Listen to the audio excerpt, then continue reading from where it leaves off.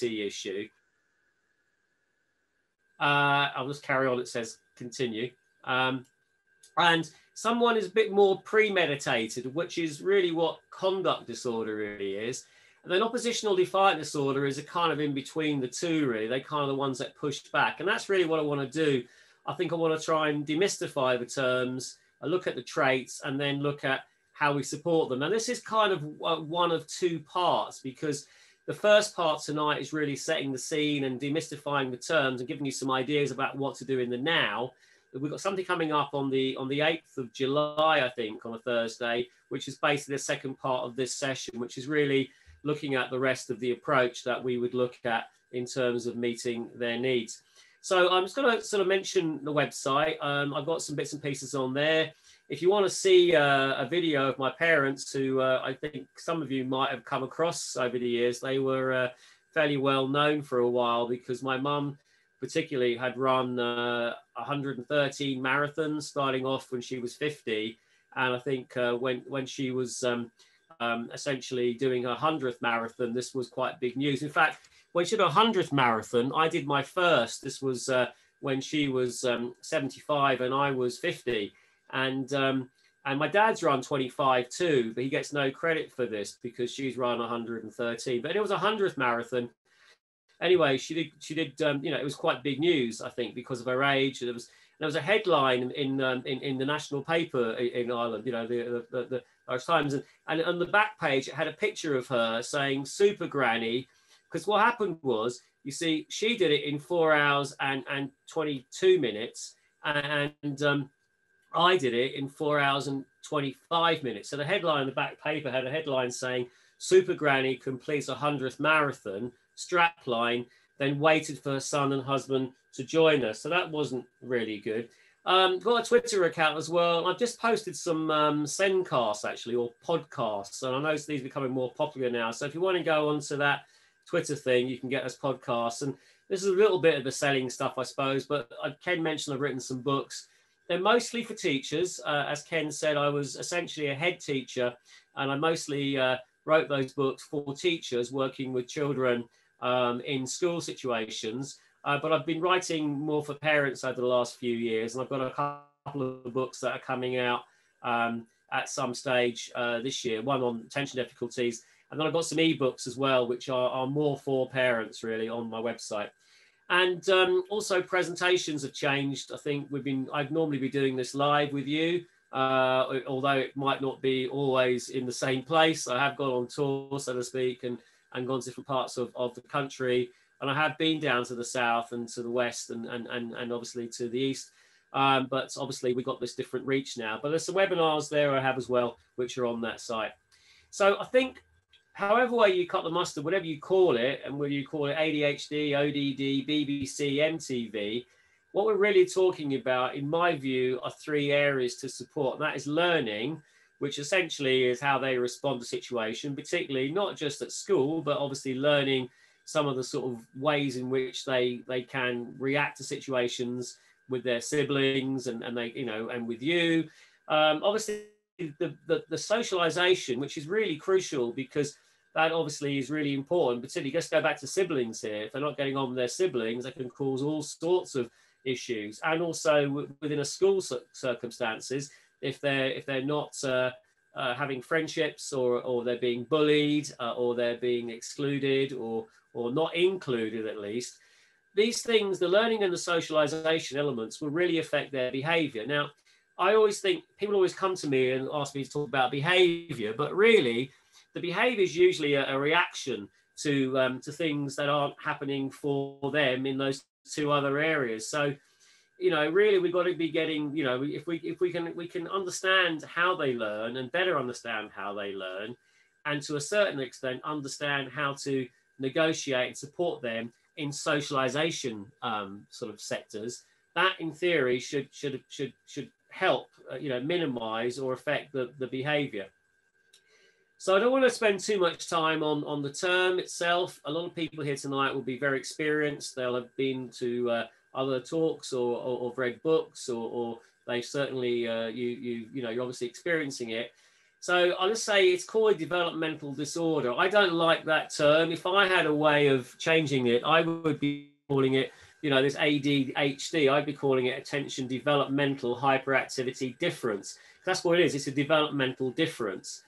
And it's interesting, once you get that, that across, that developmental difference across, particularly you, you understand what that means. It doesn't, it doesn't, it doesn't uh, always you know change things overnight but it gets you to understand why they do things differently than what you would expect them to do and this is very very true particularly in schools if you can get the issue of developmental difference across because what that essentially means is you've got a child who's nine or 10 or whatever one you're interested in tonight then they might be nine or 10 that's what it says in their birth certificate but they've got the skill set in certain features of a five or six year old you know, in terms of their ability to listen and ability not to to not to, to wait their turn and their ability to sort of like, you know, to focus on stuff.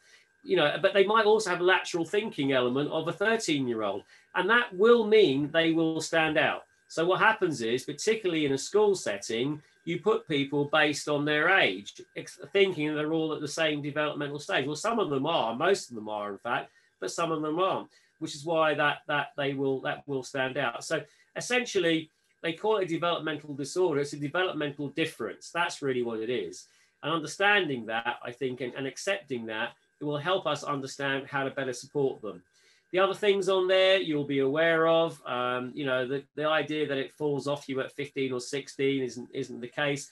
What we're trying to do is narrow, we're trying to narrow the gap. So we're trying to get the gap nearer to, you know, what is expected of someone of that same age at that stage. That's really what we're talking about. And we do think the reasons for these, these, um, these symptoms are neurological. What we do know, and this is something that I know you've probably understood on your own journey, is that genetic influences are also very strong. And it's um, not, it's not to say that you, you or, or your partner has, has the traits, but it's often the case that in some families that is the case and which means that a child you know who might need more support might be getting adults who aren't always themselves as organized possibly as they, they can be. That's not to say that is your fault or anyone else's, you know, anyone, anyone else is sort of judging you, but it's just making the point that it does have quite a genetic feel. So it might might be the case that some of those influences have actually affected, if you like, some of their developmental um, progress. And that's not to me, but what I'm always trying to say, in, particularly if I switch around between home and school, which I will do a few times, if you're working with a child with ADHD, you could be working with a family, which means that where you can, try and take the burden off the parents as, as much as you can, particularly, I always say with things like homework and organisation. What we do know is that um, the several changes in DNA composition can create the issues that we're associated with, with lack of you know, uh, impulse control and, and, and, focusing ability. And we do think that dopamine and noradrenaline are those involved. Now, this is, this is a slide showing you genetic inheritance. It's showing you things that you are likely to inherit. So, for example, it's a twin study showing you, and this twin study is showing you that if um, on the on the line there, it shows you that if you are uh, you, are basically 90% likely to be the same height as your parents. Did you know that? So you it's a very high genetic coefficient. So you're 90% likely to be the same height as your parents. Um, so that means if you are six foot tall, it's very likely your parents are in the five eight, five nines category. If you are six foot tall and both your parents are five foot five, there, there could be another explanation for that, and it might be a phone call sometime. I'm just kidding. The point is, it can happen, but it's a 90% ratio. Schizophrenia is up there in the 70s, asthma's up there in the 40s, breast cancer, unfortunately, is far too high in the mid 20s, but ADHD is up there in the 80s. So that genetic coefficiency is something for us to bear in mind. So if things aren't working the way they should be, it could well mean that there is just not just a child necessarily having to change or adapt to situations. It could well be that there's something that we can do as well. In America, it's interesting, in certain states, they're in a different kind of uh, cycle to us. They will not assess children in certain states in the United States until they've assessed the parents. And and it's interestingly, you know, who, who's being offered things like the medication. It's been the parents offer the medication first on behalf of, you know, helping their child, so to speak. So it's kind of an approach that we aren't in that cycle. So the symptoms are there. I'm not going to go through them. You, you know it. You live with it. Um, we had the three presentations, inattention or presentation type. That's your ADD, and the hyperactive impulsive type. Those are the, the areas there. And for me, I always say the three core symptoms are up there: inattention, hyperactivity, and impulsivity. But if I'm really honest with you, the hyperactivity gets the gets all the headline term, but that's kind of them. And you know, we don't want to change them. We want quirky, we want sparky, we want people who think differently, we want people who act differently.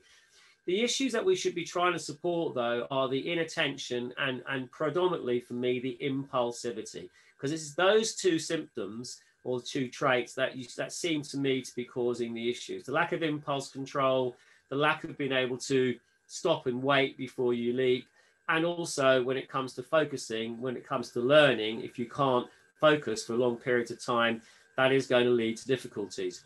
So that's the game plan. Um, assessment, I think if you are considering that this might be something that, that, that you are associating as a reason for your child's differences, if you've already gone through the process, the issue of assessment should be rigorous, it should be comprehensive, it should filter out other reasons that could be causing these, these, these traits, and it should have some of these sort of things involved, if not all of them.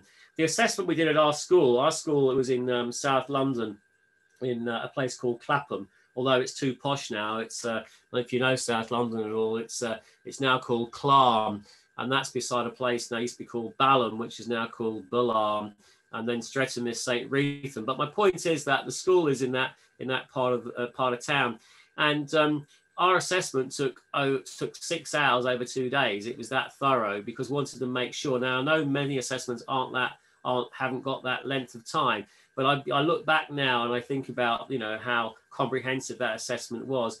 And the reason for that is you're trying to analyze what is the best fit, because there could be other reasons, you know, that, that better explain the traits we're looking at.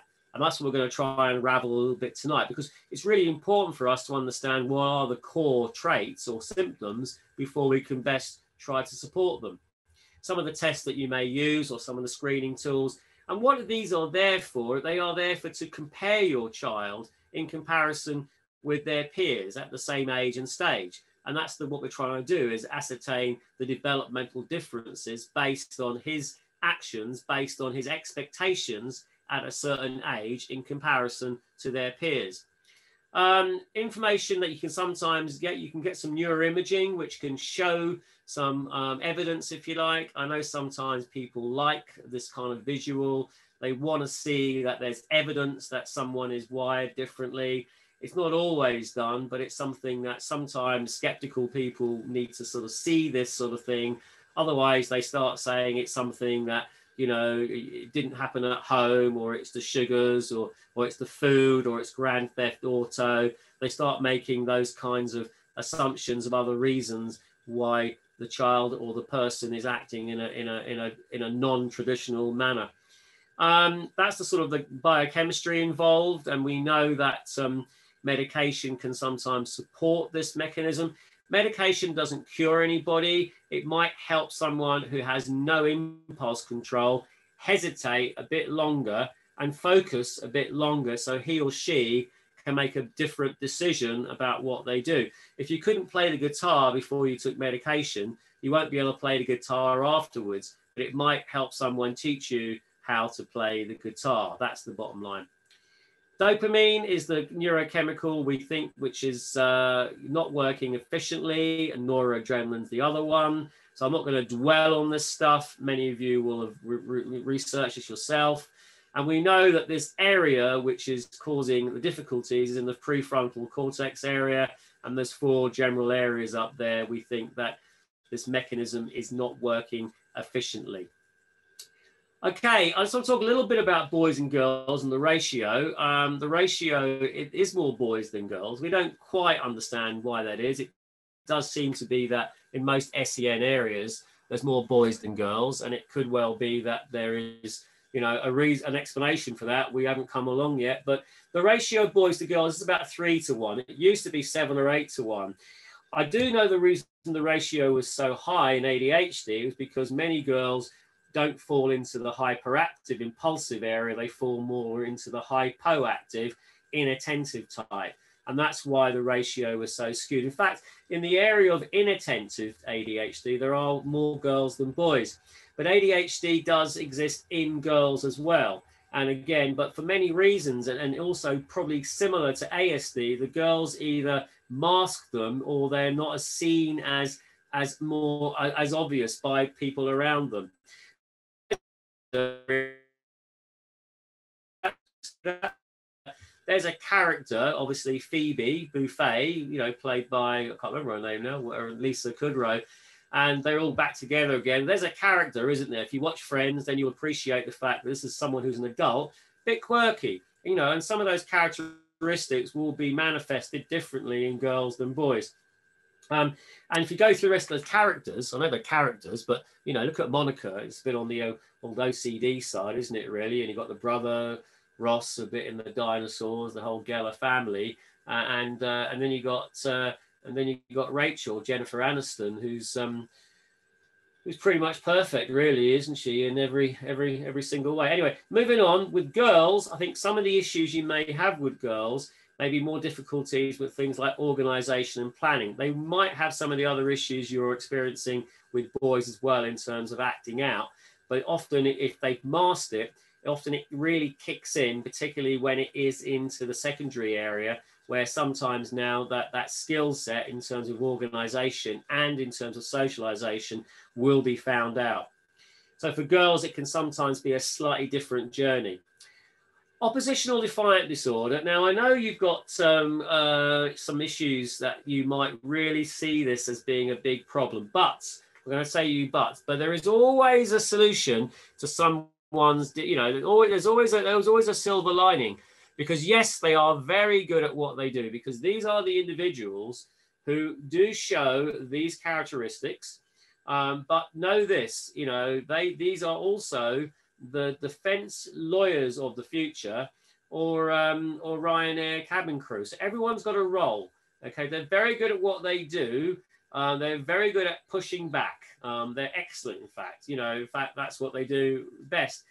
Now, to a certain extent, it's going to be something which living with this and working with this is not straightforward. I get that. But like everything else, there is a way of supporting people who have these traits. And there is an outcome for someone also who has these traits if they can be honed and and supported in the right way. So those are the first three. So it basically says at least four from any of the following categories. And a lot of these areas are again said to be you've got to exhibit four out of these eight or whatever. One, two, three, four, five. Yeah, is eight. Over a period of six months, the maladaptive and inconsistent with developmental level. So you're not doing this, you know, on on the odd occasion. You're doing this a lot. You're doing that that much more than should be expected of Eurasian intelligence in comparison to your peers, and in two or more places. I'll come back to that later on in the questions because that sometimes can be a little bit unhelpful because sometimes if you get everything right in one area and not in the other, you won't always see the same the same degree of symptoms. But anyway, that's the essential. So it's four out of eight of those. And again, just showing you there, you actually in this particular area, they do talk about mild. So they are actually talking about it because with ADHD, you have to exhibit in two or more places. With oppositional defiant disorder, they are saying that they can diagnose it if it is in one setting. Moderate would need, would need to be at least in two settings and severe as the three. So with oppositional defiant disorder, you actually have a little bit more flexibility in one sense about the one setting situation. Whether whatever you call it, you can call it ODD, BBC, MTV, the traits are real. And it's something that I think we will need to talk about in terms of how you support it. There's a clue early on, by the way, in terms of some of the descriptor. I'm going to come back to that in a minute. One of the causes of ODD? Uh, for me, I think it's frustration, but other reasons are up there. You can read through. I think it is generally frustration. I think oppositional defiant disorder is a is underlying issues that we haven't really understood or we're not meeting. Um, but you know, are some children born with an ability to push back? You know, that's a, you know, it's debatable. You know, I think the jury would be out on that. I think it's more a case, I think, of, of, of something that has happened as a result of, but, you know, we don't, you know, we could be wrong on that. I think what I would say is that um, the ways in which you manage support them will need to be different. And I think, you know, some of the sort of ways in which you might have brought up other children will need to be revised here. I know that I have some experiences both as a parent and certainly as an educator where I had a lot of different approaches to individuals who were different. And this book, which is by Douglas Riley called um, The Defiant Child, was very helpful for me. It's quite a dated book now. It's about 26 years old, 20, sorry, 20, about 22 years old. But essentially, some of those issues there are ones I'm going to come back to. But some of those some of those bullet points were very useful for me in adapting how I approached individuals who had these traits. Because the thing about training, or what were we all calling this tonight, this isn't to tell you what to do. It's to try and like you to get you to maybe think of how to sort of do things differently, or it might be confirming what you're doing is the thing to do. You just got to do more of it and be more consistent with it. You know, but I think, you know, if you're expecting a magic formula, it doesn't really happen. Although I do have a formula, I'm not sure if it's magic, but it might be something which is more of an approach. I'm afraid it's the old adage that it's not inspiration, it's perspiration. And the one I like best about all this is Gary Player hit a long putt years ago and, uh, you know, to win an open or something. And the, the, uh, the commentator said, Gary, so that's a very lucky putt. And Gary Player turned around and quick as the thing, he said, yeah, he said, the more I practice my putting, the luckier I get. So I'm afraid it is about that perspiration versus inspiration. But some things can help you maybe make that perspiration more productive. Now, conduct disorder is, is more gritty, and, and, and it is. There's aggression in there, there's a lack of empathy, and it's got some of these characteristics. And it's important for us, if we are talking about non premeditated impulsive behavior, to be squaring the circle, so to speak, to be talking about what is more premeditated behavior. What we don't want to be doing is, is, is necessarily is using the same approach that we would do for impulsive behavior towards someone who is premeditated. Does that make sense? And that's why we need to do it. So although it might not be a term that you like the sound of, at least it's it's important for us to understand there's a different rhythm. And it's not something we talk about very much because it is gritty. Again, four out of the following to be present. And again, it's got to be over a period of six months and, a, you know, in, comparison to peers. And, and, and, basically, and it says at the bottom there, it's caused significant impairment in functioning, liver pro-cytoscores. The difference here is, is really, as I said, is that it's, it's the premeditation and the lack of empathy. You know, whereas with children with ADHD, for example, you know, the first time they think about what they've done, they've already done it. Whereas children with conduct disorder know what they're doing and kind of do it anyway. I'll tell you what would be example if you get a in a in a in a classroom scenario in particular. So you turn your back around and a kid throws a pen across the room. The one with ADHD you can spot. And the reason is because he was bored, he got he got tired, he just got fidgety. And if he tries to cover up, and, and says he's, he's just not a very good, he doesn't sequence very well. He's not a good liar because he didn't really plan to do it. He's impulsive. He can walk right through his story. And generally, he's probably quite sorry for, for doing it anyway because he didn't really mean think about doing it in the first place.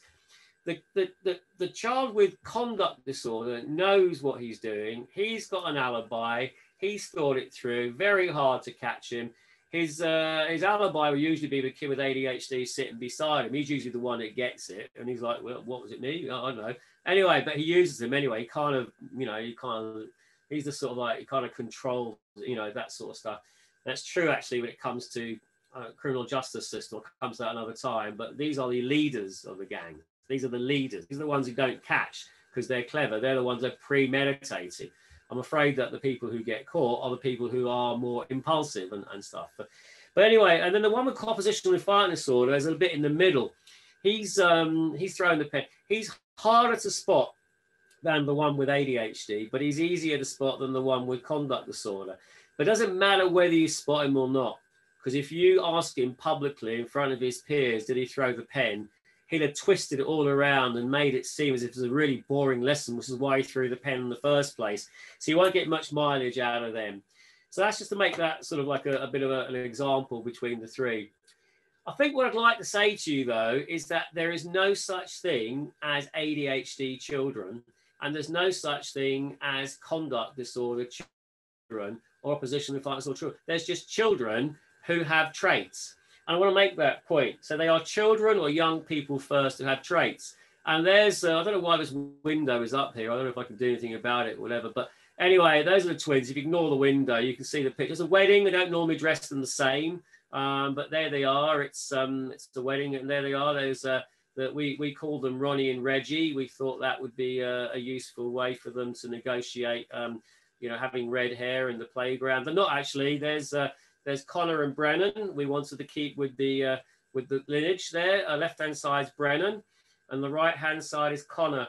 And um, so when it comes to this issue of uh, innateness or, or someone having a little bit more of a a, a sort of an attitude which is half full, I would say there's a little bit of nature and a little bit of nurture in there. I'm just going to make that point there. Those are the boys. Uh, I'll just show you my daughter as well. She's uh, they, these are all they're, they're 22 now, and, she's 24. And um, and there's Kendall. She's had to deal. So I know a little bit about the sibling stuff. You know, having moved, uh, having worked and lived in that area for a while.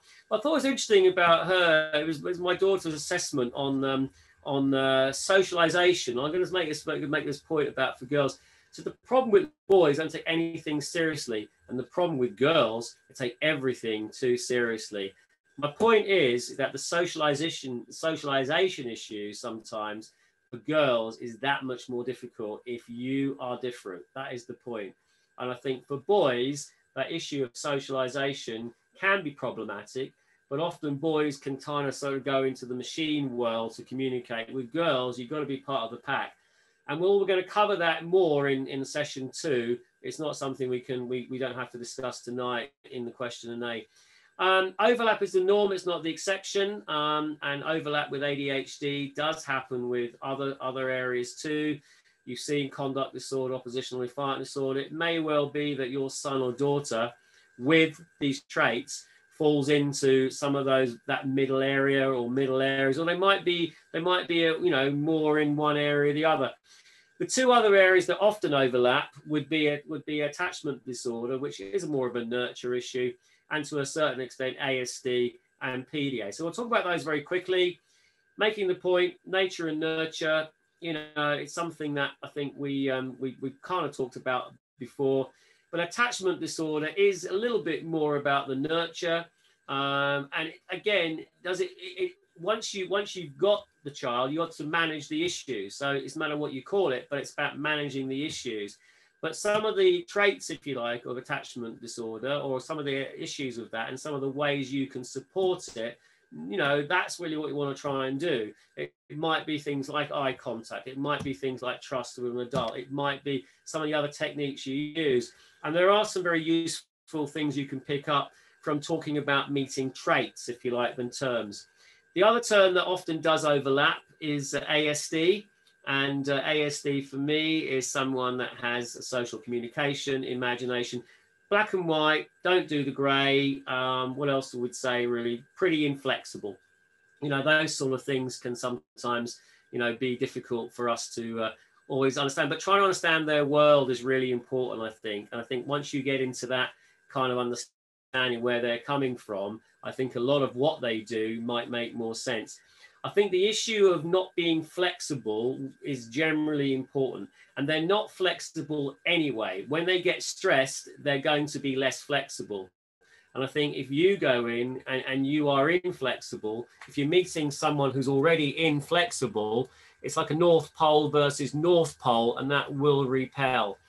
The most important thing with ASD, I'm gonna this is going to be a recurring theme in all of these things, is reduce the anxiety. If you increase the anxiety, and that is true very much of the other areas too, and generally speaking, it's not going to help matters. Generally speaking, it's going to make them somewhat worse was making PDA, it's the sort of ODD with ASD, really. You often see diagnosis of uh, ASD and PDA, and you see ADHD and ODD. What you don't see is ASD and ODD, not very often. You might have an example of that. Or PDA uh, or AS ADHD and PDA. is often seems to go with ASD, at least does over here. What I want to talk to you about though, and it's the central word, I've made it very big in black. It's the word mood because I'm going to make this point now. I was going to come to you later on, but we aren't talking about managing their behavior. You know, that behavior is a too complex a word. It means too much to different people.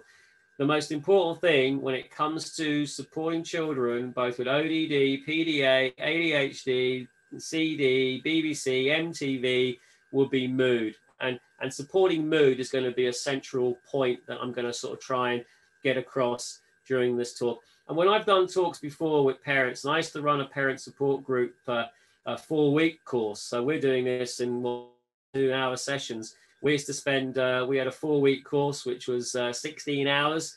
Um, and, and even then, you know, we only scratched the surface. But when we came back to talk about what really helped families that were going through this, this journey, um, the majority came back and said it was this issue about supporting and, and changing and managing mood. So that's my that's my research on that really, and I hope that you know we we get the opportunity to test that out with yourselves both today and next time we we meet. Um, I'm making the point that um, you know it, it it it doesn't always go right. It can go wrong. Um, and if you're experiencing that that tension and stress now that it going wrong, I think what we all know is that the earlier intervention, the better recognition then we can support and minimize the effects of those things taking place. For example, oppositional defiant disorder for me doesn't happen too early on. It happens later on when they start thinking, well, the best I can be is the worst I can be. It's the best I can be. They start pushing back. So what we want to try and do is minimize that issue. Uh, and not to say it's always possible because of, of this, that, and the other circumstances, you know, the level or the, the severity of the symptoms because we can all have mild, moderate, and severe. It can happen. So um, the point is that, but the earlier we get in, but I want to make the point as well that you know we do need we need people who are different, and we need people who think differently. And it's interesting that schools want people who are conforming to type. They want people to do the same thing in the same way all the time. Business wants innovation. They want difference. They want someone who's intuitive. They want someone who's quirky. They want someone who thinks differently from other people. So to make that point, getting them through this school period is tough. But at the other end, if we can get them through this, then we need the people who think differently because they're the people who do stuff that, that we can all benefit from and I was trying. I have all the sort of like the standard ones I was going to show you tonight. I was going to give you a quiz. I was going to show you all the people, but I just couldn't resist the picture that I saw uh, about a couple of years ago of someone who's different. And I know that um, he he doesn't necessarily get um, uh, how can I put it the the that, that uh, always a positive recognition. But okay, look at that face. I mean, look at just look at that face for a minute. Now I know he's not everyone's cup of tea, but you've got to say that despite everything, you know, it's a fairly successful company, or it was. But I want you to look at. I, I normally do this. Like, I want you to look at that face just for a minute, and and and, and what do you think he'd have been like to um, to parent, you know, or, or, or for that matter, to, to teach? I think he'd always done what he was asked to do when he was asked to do it. I, I imagine not. I imagine there'd be some challenges in the um, in the uh, and the, the you know the in the O'Leary house. Okay, so look, you know, I'm trying to um, give you a little break here now because it is that time. I know I can't move this window. If I I sort the window out, by the time we come back, we might lose this. And we're going to send you all the slides anyway, so you'll get a proper handout of that. You're just going to have to sort of look at it and go by through it. So I didn't have a magic formula for you, but I have a formula for you. But what I want you to do is, I do want you, because you've been sitting a busy day already. So what I want you to do is get your hands out in front like that. Just do a little bit of a stretch. I'm no, no Joe Wicks or anything, but I used to used to be a sports teacher. So then once you've done a bit of that, you put your hand there behind you, back your head, yeah, like that. Bit of movement and a bit of a bit, a little bit to the to the to the left. Well, it's my left, your right, and that, that that bit like that. And again, just to get you going stand up if you want to, just a little bit of a stand up thing, just to do that. If I stand up too much, you see I'll be wearing shorts. I haven't worn a pair of trousers, you know, for about a year and a half actually. Um, and then we can do a little bit what we do in rugby just to get you going. Do a little bit of this, go a bit forward, what we used to do in the changing rooms, get going, and then a little bit going back. Of course, you know, while we're doing this, the backs, we were, you know, the forwards were like doing all this stuff. I don't know why they were doing that. We're going to get someone to do that to them in a minute where we were just brushing our hair because we wanted to look good. But anyway, a little bit of movement. No magic formula. Wish I could tell you was. But we're going to call, we've got an approach, we call it SF3R. And again, the feedback I've been getting over the years that this has been useful. S stands for structure. F stands for flexibility. And the three R's are how you sell it, support it, and sustain it. Now, I understand that, you know, you might not, this might not always come across uh, straight away. And unfortunately, because of the time, we're going to spend tonight, we're going to do the S and F before we got to the R's. I want to give you the ground ground rules, and then I want to talk about how we sell, support it, and sustain it. But if someone hasn't been used to any structure and has, has kind of really fallen off the uh, off the wagon, so to speak, on that, it's not going to happen overnight. But I'll show you the principles of what you can do, and then we're going to talk about how we can try and get it across. So, number one in the structure, we can all better understand our children we can all better understand them by understanding the conditions or the terms that, that actually we think are mostly responsible for how they react. We can all also understand, you know, that they have areas of strength and weaknesses and try and support the strengths and try and make up the weaknesses. And we can all do better with our rules and rituals. We can all do better. And I don't just mean them, I mean us too. Flexibility sounds like it, it, it contradicts structure. It really doesn't. It complements structure. And uh, I'm not going to dwell on all of those, but I'm going to make that big point about that one in the middle, mood and motivation. But I do I do some parent um, and consultancy, individual parents, and I always say that one thing I'm going to do is we're not going to talk about behaviour. I'm going to sort out the mood. I'm going to sort out the mood. Then we're going to go motivation. I'm going to get direction, and that's what we do: mood, motivation, direction. Working in collaboration with professionals, the village raises the child. You know, that's been around for a long time because it's true. Now, who those other villagers are, there will be a variety. It could well be a, a professional, or it could well be, uh, you know, other elements of, of your network that can help support individuals who won't take it from you, because that's what it's always been. And if you've got a teenager in particular, that's been something that we've understood for centuries, which is why we've always had the elders or the wise men in the group, you know, because teenagers have always thought their parents, you know, didn't know anything. In fact, always, if you've got a teenagers, then you got to you got to read um, Mark Twain. Mark Twain, he's good. He said, uh, he said, when I was 14, I thought my parents knew nothing, but when I got to 21, I was surprised how much they'd learned in seven years. So that's for not teenagers anyway. You've got someone who's got developmental differences, it's going to be and some. So the three R's are rapport, and it's going to be something that we are going to be do, doing more of in the next time. But we will again mention this in the quote Q and A tonight.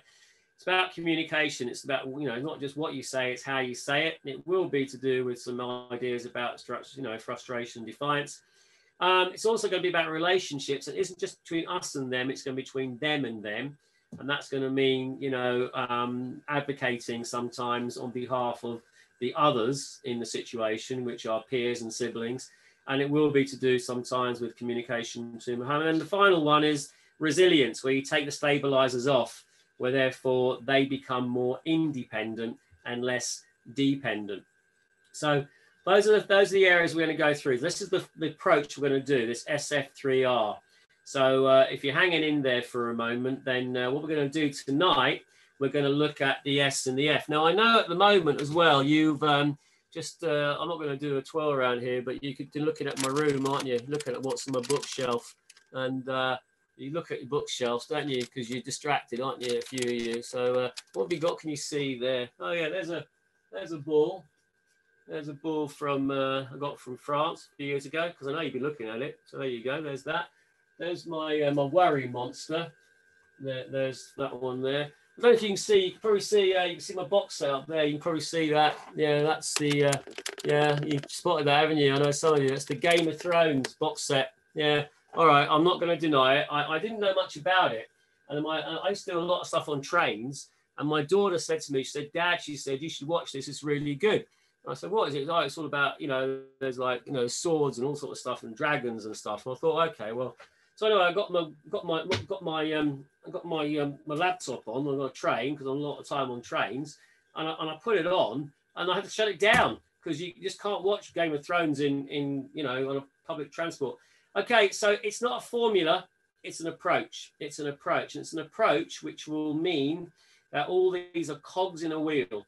There are cogs in a wheel in terms of what you do, and you will need to do it together if only one of you is doing it, it is it's not going to work as effectively. So you've got to buy into it if it's going to be something that you feel is right for your family.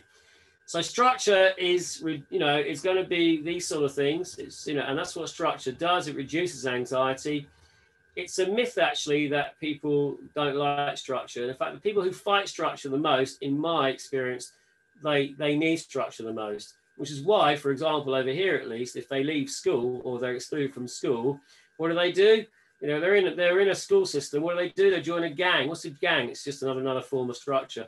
You know, you've got a hierarchy, and you know, and and and there's other gangs you can get involved with. By the way, if they're not involved in the school gang, that's football, rugby, cricket, you know, or whatever, or in fact, you know, you know, hurling or you know, Gaelic football, or or a band, or or a or you know some other kind of like team that they're involved with. Not just sport. It can be something. It can be music. It can be arts. It can be someone else that they're good at. Just get them in a different gang. Um, what uh, what we talk about very much is not just telling them. It's about teaching them how to do stuff, and it's about building up routines and habits. And there'll be some new habits we have to get into because we've fallen out of them because of the COVID situation.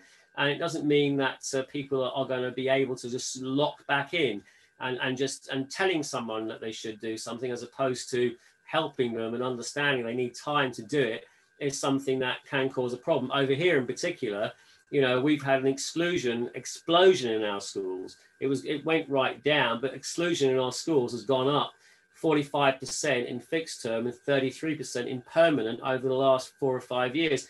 And partly that's to do with, with this kind of low no tolerance approach. But the danger of this after COVID is actually going to be more enhanced because some of the expectations on things like, you know, having non-impulsive behavior towards social distancing, for example, and you know, and without some kind of approach which is taking that on board, you know, I can just see those figures going up and up.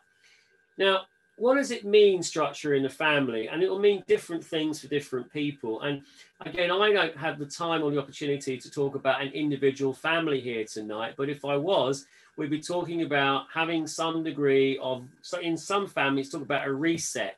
We talk about sitting down starting again talk about some of the things that need to do as a family and what that means is you need to have some expectations. You can call them rules, you can call them, you know, you can call them what you like, but the bottom line is there are some things that need to happen in order for you to remain a stable and safe family. And I think this would be just some of the ways in which you might go about doing it. Now, I'm not saying it could be it's these or it isn't these, it could be other areas as well. What I will say is that if you want to start off with something, you have to make it achievable and it has to be something that you can you're ready to enforce. Because the thing is that if if it's not a rule unless you enforce it.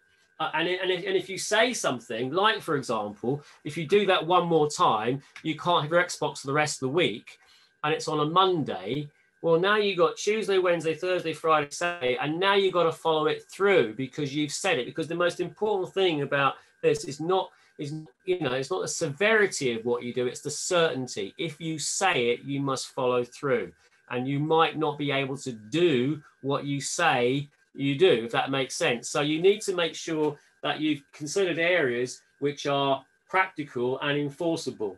So for example let me just show you and then once it's done you've got to like maybe put it up somewhere. You can all see it. And even if they don't give you the impression they're looking at it. They look at it when you're not seeing them look at it. And those are some things that we can again spend a bit more time on. The escape hatch is just giving them somewhere they can go at certain times. But it's where I'm going to. So when you work with I work with families, they want to say to me, they want, they want to say, well, we don't stop the shouting, we're fighting. But you can't stop that overnight. what you can do is you can have a reset by saying that there's some non-negotiable. See, band one is your structure, okay? These are the things that whether you're ADHD, ODD, BBC, MTV, non-negotiable. And start off with things that you can actually visualize and see. No shoes off in the house. Food remains downstairs. It's nothing about food.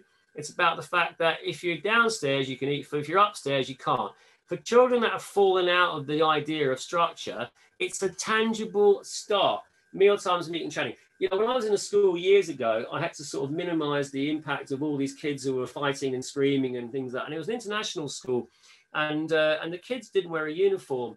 And what happened was they leave the playground, they go upstairs into the class, and it was like chaos because they hadn't identified the difference between the classroom and the and the playground. And it was an international school. I had a lot of Americans in the school because it was this international school I first went to in London. And they all wore baseball hats and they all chewed gum all the time. And they were still chewing gum and wearing baseball hats in the classrooms. And no one was prepared to do anything about it. And of course, we never had any real momentum after that. So we started off with not just talking about the shouting and the swearing, we talked about no, no shoes, no, sorry, no shoes on there, no hats on the building and no gum. And everyone had to reinforce it. And it wasn't popular. It wasn't popular. But once we got that established, that created an expectation and a difference that once you're in the building, there's a different there's a different set of things going on. And it, and it didn't stop everything overnight, but that started to reduce all the issues that we had after that. So once you get your non-negotiables, I'm not saying it's these ones, you've got to have something which is clean that you can see because no fighting, no shouting, no screaming, no swearing. You don't know who started it, you know, who wound him or her up in order for him to react that way. But if you get that kind of structure, so your structures on, on band one, your flexibility is on band two. And by the way, calling out, slamming doors, these aren't crimes against humanity. I want to make that point.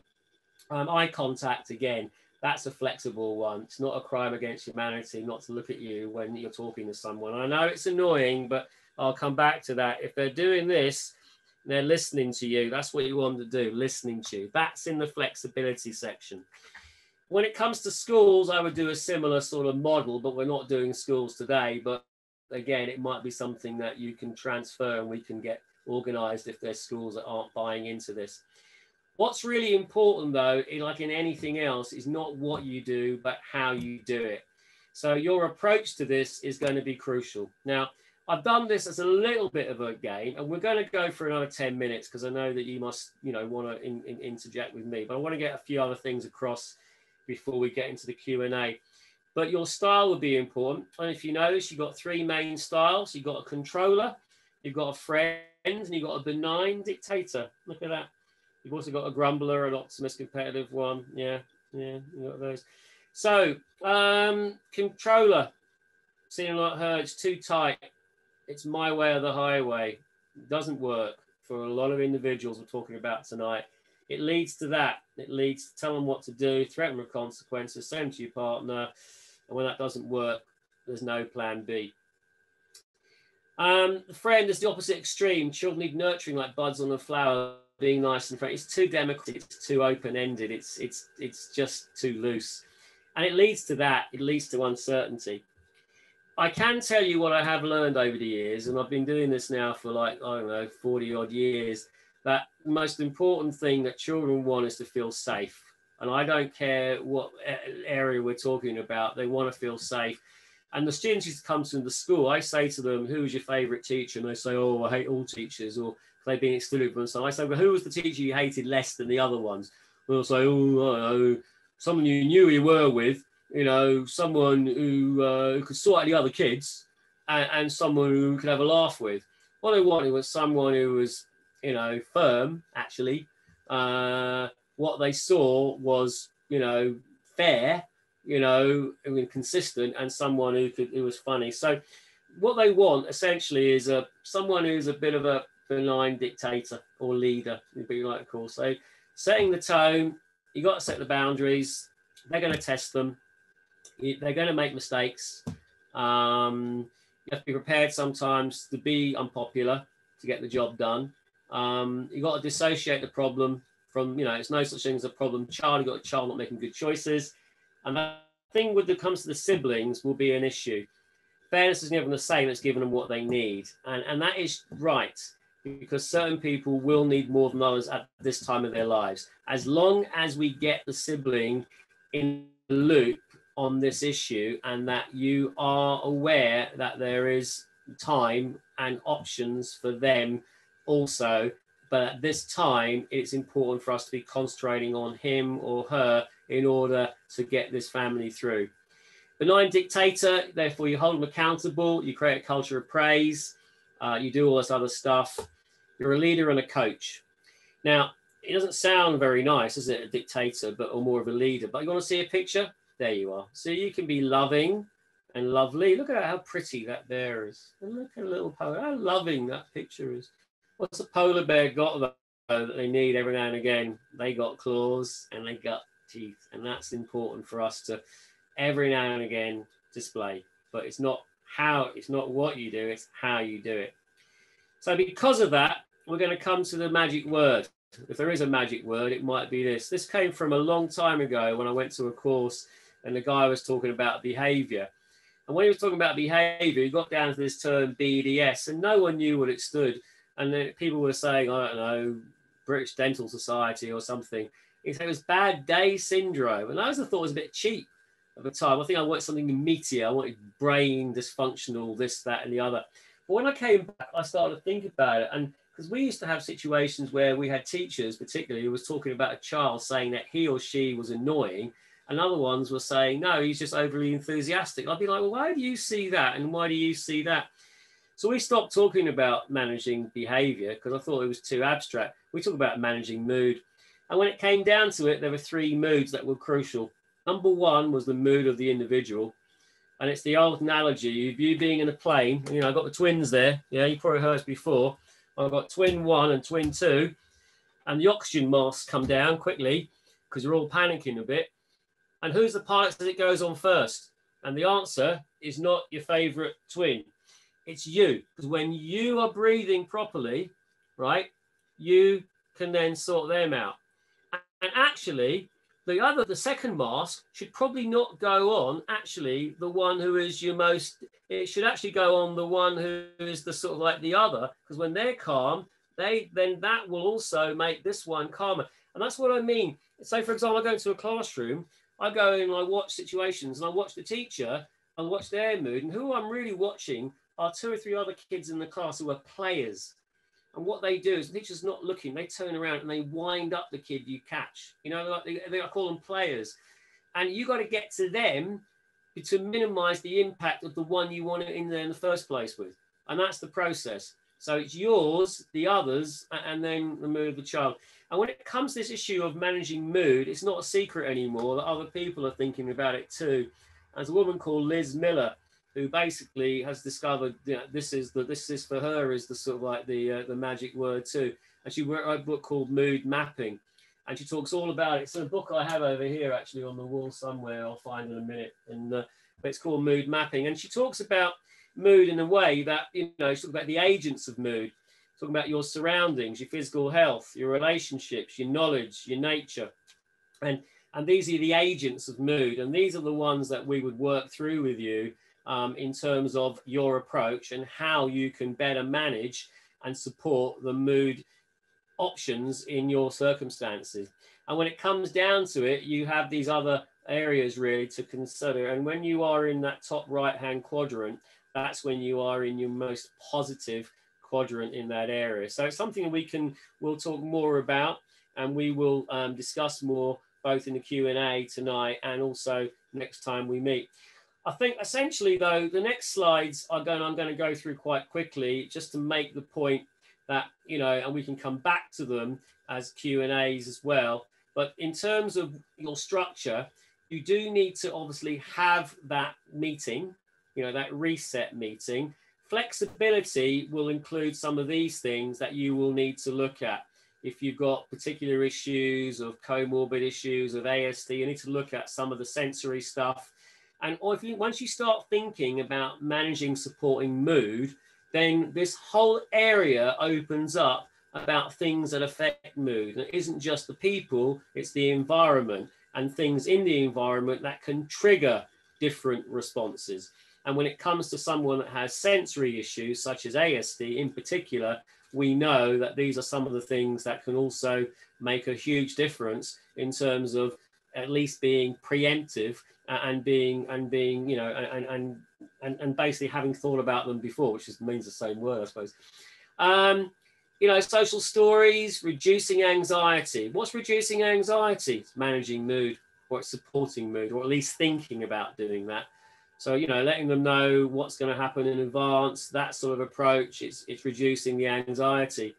Um, you know i would talk a lot more about some of these things. Had we time but you're going to have to deal with particular issues of impulsivity. What I will say to you is that children with ADHD, it's very hard to sell this, particularly now at this time of night when you're feeling it.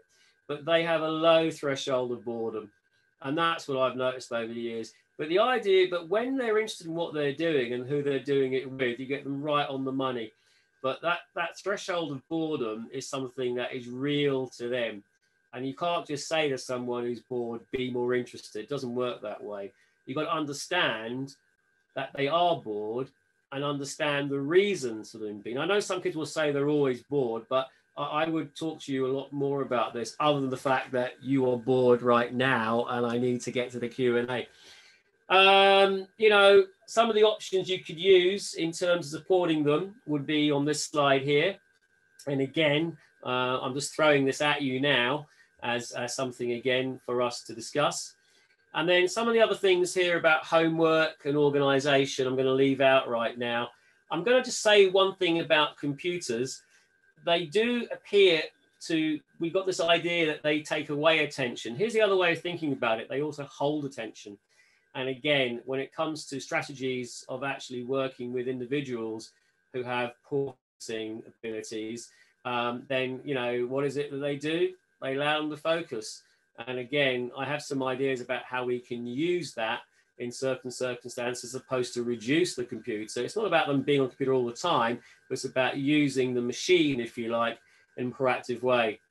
Um, I'm not a doctor, but what I am going to say is, and in my formula today, we talked about um, flexibility. And in that formula, the flexibility section talks about working with other professionals. So what I'm going to add to this is that, you know, with all the other things that you can do, sometimes you need something to support children that you're working with to make a different choice. And that's where medication fits in for me. It fits in the F, it's flexibility.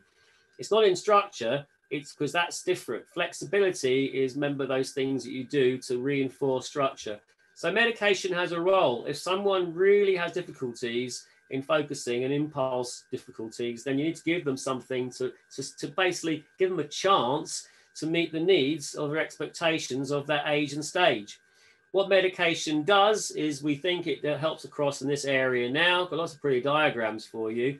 But the bottom line is it gives someone who's not got that ability to hesitate long enough to take the choice to make a make a hopefully a better choice. Again, it treats core symptoms. If you've got all the other stuff that has come as a result of years of, of failing, it's not going to change it overnight. So that needs to be stripped away. That needs to be worked on. That needs to be sort of, you know, to reset again. But it might allow those other things to work more effectively. Um, different types of medications out there. We're not saying again that any one is better than others but there are a variety of them. And if one doesn't work for whatever reason, then you have other varieties as well. So don't think you just have one. Ask the questions about the other options that are available. People ask me about medication a lot, and there's a slide of us somewhere. This is about 20, how many years old is it? I forget how many years old it is. It's about, yes, 22nd of March 85. It's an American one. So what is that? So that's, what's that, 26, 27 years old? It's a 27 years old, this slide here's a child off medication, right? And it's the same child next day on medication. Now, when it works, it works pretty well. It, you know, it, it allows someone, you know, the opportunity to put on paper what has been flowing through their mind. They just don't have the ability. Having lines, by the way, so medication with structure, that's a pretty good idea. Papers are all over this. They don't like it. They think it's, you know, it's, it's cheating or it's drugging children or, you know, chemical cosh and stuff but they don't understand that you know what, what they're talking about that you've got someone with developmental difference who is caused by neurochemistry not working and if this can support them to make different choices then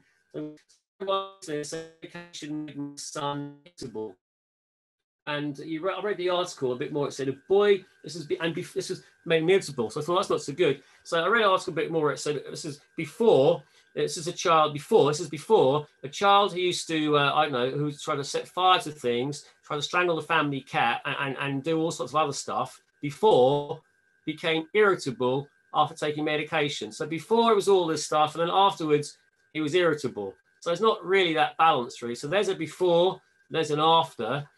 Here's a picture of the cat before the medication, uh, not looking too happy. Picture of the cat after medication. So the cat is happier. Okay, that's my point. And I think that the house is calmer. And I think people are being more productive. And I think people are starting to meet their expectations. It's not where you start, but it's part of the process. In the end of the day, though, it's very, this is the last slide. It's not what you do, it's how you do it. And that's the way we move into the rapport. You know, so it's structure and flexibility. That's all very well, but you've got to gain their trust.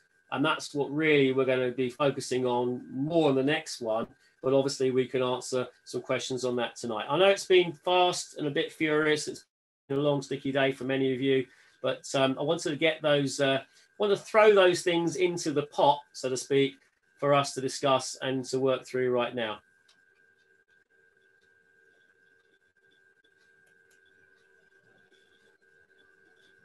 Well, Deepin, thanks very much for that. Um, and obviously, just uh, that's part one, and say part two, we'll pop that into the Q and A a little bit later. Um, just for myself, just in going back to the very, very start, and um, you know, we always work from the position that uh, ADHD is a neurodevelopmental condition, so you're born with it and you'll die with it, and it affects you across your lifespan differently. Um, just uh, specifically with AD or ODD, um, you're like we're talking there, it has to be identified for six months. So does ODD come and go? Is it a lifelong condition? Okay, well look, here's here's the thing. Okay, you've really got me. You've really put me on the spot here now because if I'm really honest, okay, here's the idea. Right. Well, let me answer another way around. You know, we have a term right now which we've we've got for uh, it's called PDA, pathological demand. A lot of people are talking about right now. It's not in the DSM five. Okay, but people are saying this is there's, there's societies on it. People are diagnosing. It's not in DSM five. So technically, people are using the term, but it's not in DSM five, which is the Diagnostic Statistical Manual. So what does that tell you? It tells you that it could well therefore be just a reaction to ASD not being treated. For me, if I'm honest with you, I think oppositional defiant disorder, if I'm really honest with you, although it's in DSM 5, I think it is a is a frustration from underlying causes. So if you really want my, my approach on that, I don't think you're born with it. I don't think necessarily you die with it. I think you you you exhibit those traits because underlying traits of something else is not being found. Very rare to get ODD by itself, right? Very rare. Often overlapping, often seems to be a consequence of. So what does that tell you? But it is in DSM five, so I'm not I'm not privy to to mm-hmm. disagree. If you want my guts, you want my gut feeling, I don't think it exists really. I think it, it's a it's a frustration from underlying causes. That's my gut. Mm. But you know, things are changing all the time. You know, we might well find that it's a term that that falls away. I mean, there's a book that we've got over here. There's, it's a new term over here. You'll, you'll like this one. Someone's come up with a term for uh, what they called it gifted and talented. Do you Remember that? I don't remember that. That was around a few years ago. That didn't exist either, really, but it's back again. It's a new term now called ME. It's called multiple exceptionality. Someone's done two Venn diagrams, chucked them together, and called it this. You know, I, I that doesn't exist, in my opinion. But the traits of oppositional defiant disorder do exist. And that's why I say I hmm. think focus on traits as opposed to labels. I think you'd be better off on that. Well, thanks for that. I mean, um, I always thought I probably was um, a multiple ex- exceptionally, but uh, probably, I mean, Trisha and Nick would probably go with the BDS. He's having bad day syndrome again. Yeah, um, yeah, yeah. well, most people, when you say you've got ODD, they go, "No, I'm not. Yes, I have. No, I'm not. Yes, I have." You know, yeah. You got people who are good at arguing. That is the bottom line, and are good at pushing back. But the reason that intensity grows up is because I think there's underlying causes that they're, they're they're, they're, they're, trying to push back because they don't they're not we're not really dealing with what is the underlying causes in my opinion i say enough of the, what I, what I think um, there, there's a lot of questions there we'd like to get through so uh, I know Nicola Trish myself have been going through them just when uh, they, they, were coming in so uh, maybe we'll just go to Nicola for the first question yeah um, Finn, I have two questions that kind of overlap. Um, uh, an anonymous attendee and Tanya. Um, one of them has a 14 year old son who's been diagnosed with ADHD about six months ago. And the biggest problem is that when he has an ex- explosive um, moment, he chases them around the house, looking for the answers, looking for resolution um, with uncontrollable behavior and cursing. And how do they switch that explosive moment to allow them to cool down and for everyone to be able to cool down to do something with it. And Tanya, kind of in the same vein, is asking, what's the best way to discipline an ODD child? Um, talking doesn't work. So what's kind of one strategy you can throw at them that can say, no, take well, it from up here and bring it down to here. idea again about, you know, there isn't any one thing you can do to sort of stop this overnight. I think um, it's more of a, an, an attitude towards, there's, there's two, well, number one, you've got to look at, you've got to understand what are the triggers that are causing this to happen? I think that's important. You've got to analyze every time you have an issue like this, you've got to look at what were the triggers that led up to that particular issue. Okay. And then I think, you know, the, the issue is about if someone is running up out running around the house, I mean, that's not by itself necessarily a problem if they are, you know, not causing damage or anything else for me, I think you have to get back to this idea that it's about managing and, and his mood. And I think that if someone is in a really difficult mood and someone needs to get out, they need to get out. I think what would be better is is finding somewhere where they go to when they're in that place. So I think it's a little bit of training to take place here about, you know, you've got to look at what are the triggers, first of all, that are leading up to this circumstances, see whether that can be something that can be done differently but if it is happening, is A, a place that they go to, or is there a, a process of which they go to to deal with their frustration? Because their frustration is real. So I think that's what you're looking towards. And then you're looking to sort of tie that to some, you know, um, outcome about how he makes the right choice or not right choice. So, you know, then you start putting some tariff in there about how he reacted in those circumstances and how many points he got for this and or you know what he gets for that you know so it's not a it's not a, a one-off a magic thing you can do. The only way you can do that in a one-off thing is have a taser and take him out at that time he starts running which is not legal.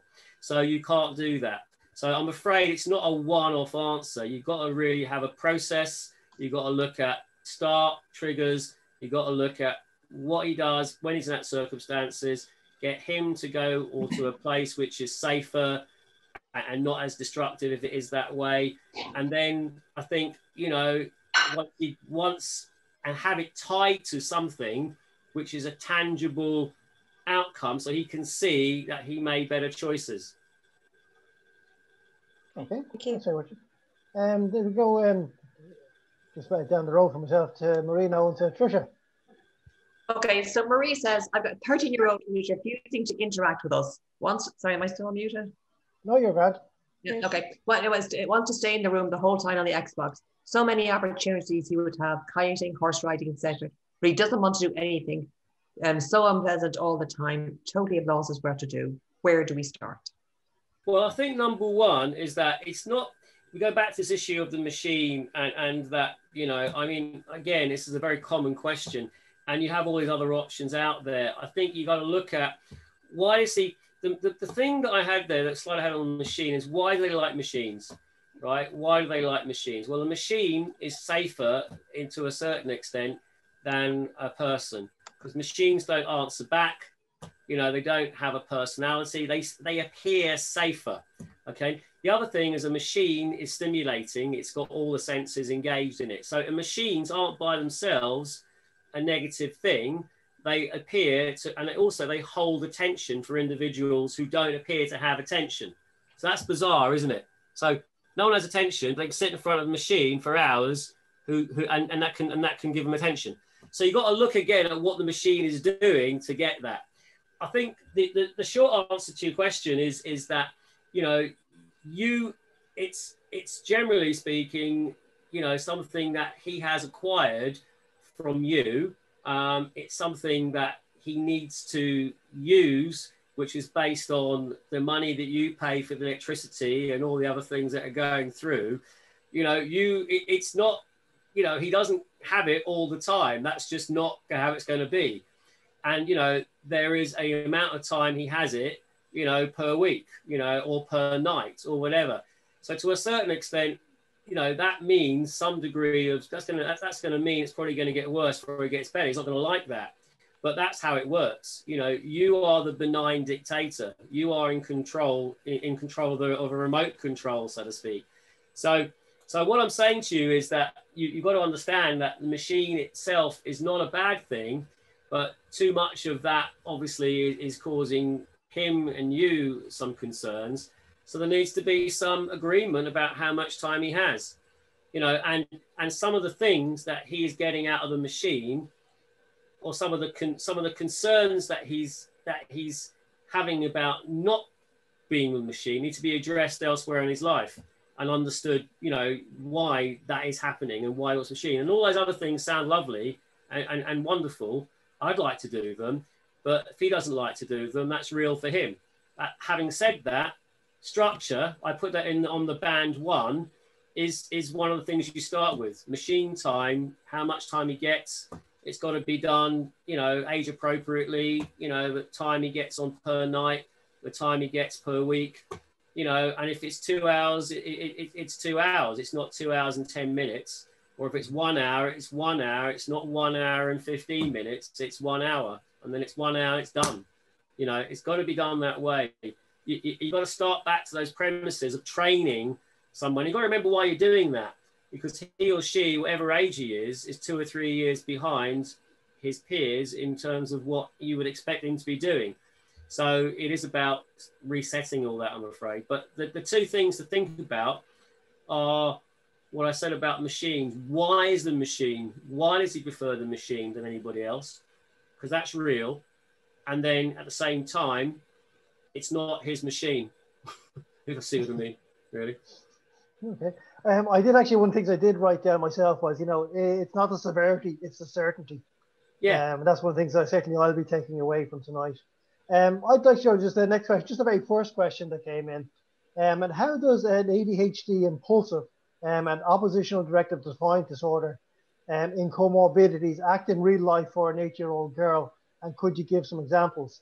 Um, and just, you know, forgive for, for dating myself with the old Joe Jackson song, is it different for girls? Is it different for girls? I love the difference. I think um, well, okay, let me give you an example. That you know, there's a there's a book by Steve Biddulph saying that boys want to know three things. They want to know who's in charge. And Steve wrote the book called Raising Boys. Who's in charge? What are the rules? How are they going to be enforced? Whereas girls, it can be if opposition is why are you in charge? Why are there rules? And let me stay up until eleven o'clock. It, you know, it, it's it is different for girls in, in a way. And and it's and it, if you say that this day, you're not supposed to say it but girls can can can make it far more personal, um, and and with girls they can um, be that much more challenging, and and you know and and really won't like you, whereas they don't like they will like the really and they will remember it i think a bit more i think girls and they're usually usually more verbal i think is the issue so i think i think for girls i think it's frustrating but i would say, say for girls the difference for girls their frustration is usually, in my experience, is usually to do with socialization issues, especially when they're older with other girls. That's what you are facing usually as the parent. I always say as the parents, if they say they hate you, it's it's not you they hate. You happen to be in the way. They're just expressing what they feel. They're expressing what they feel, and that's what they feel. It's not you they hate. They hate probably they hate the circumstances they're in or what someone said to them but they're generally speaking more challenging in, in a verbal sense. Boys tend to be more physical in a, in a, in a sense, but girls can be both too, you know.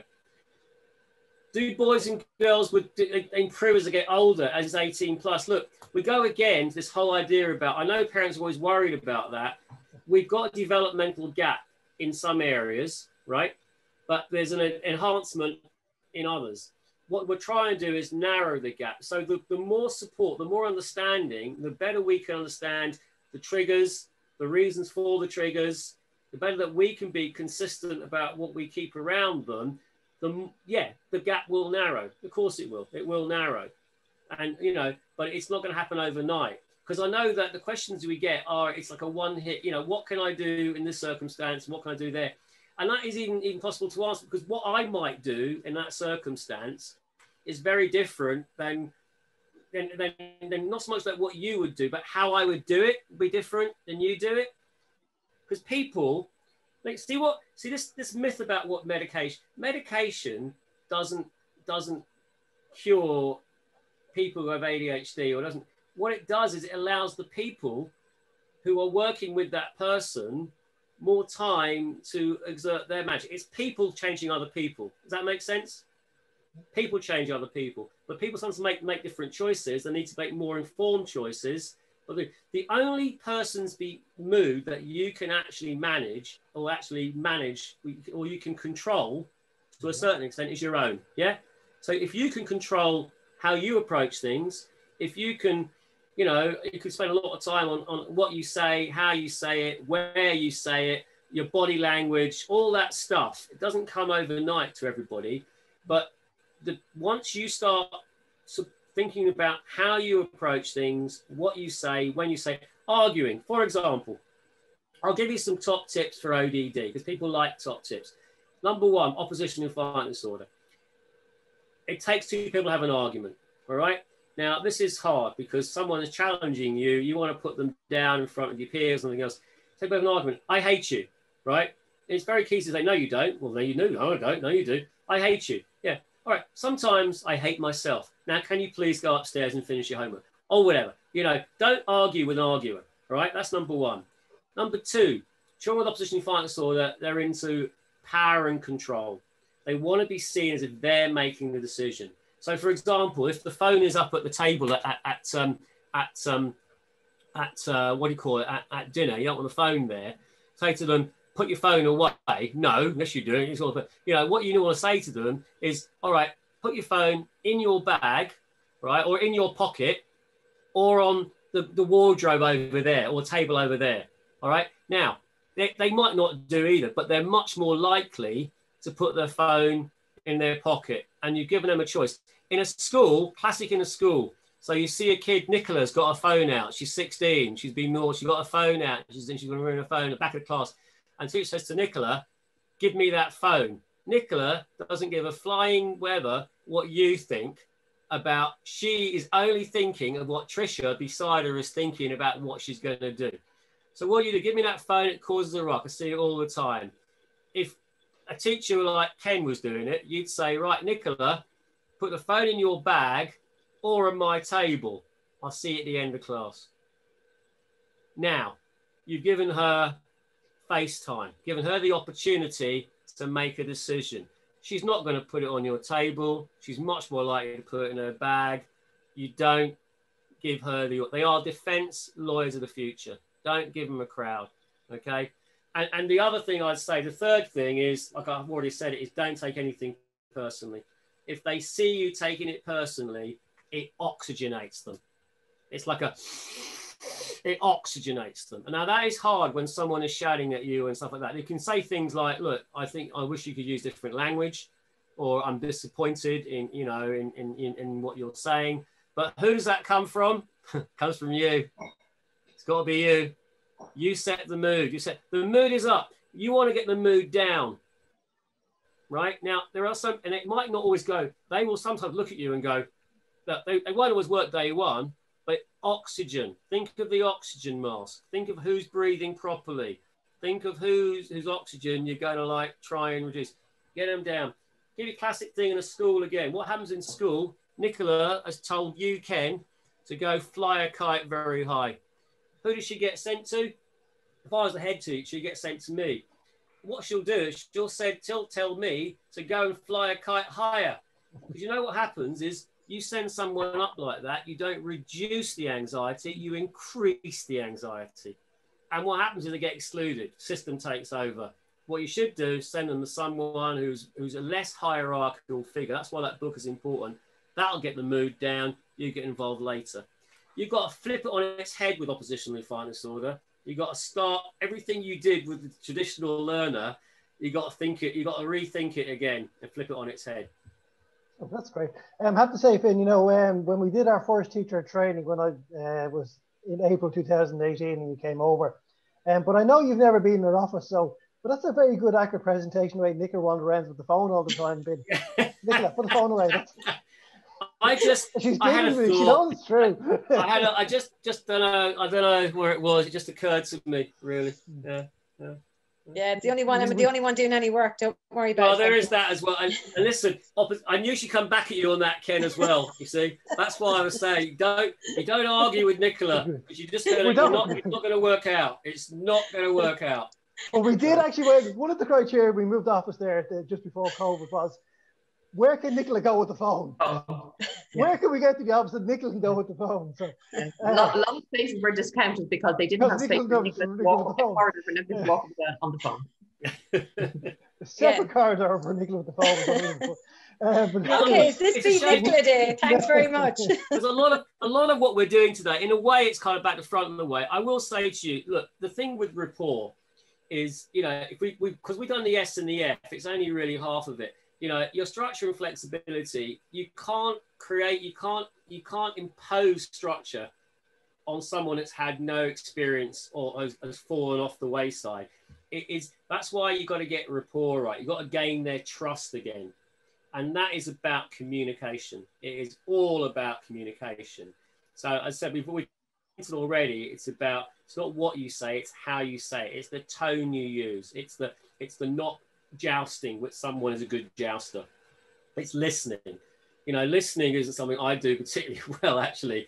I mean, over here, they, they, I leave alone. I'm not touching. No, I love Nicola too. She is lovely. I'm not, but I'm saying, but over here, you know, I haven't just kissed the Blarney Stone. Some people think I've eaten a bit of it, you know, when they have oh, you do that really.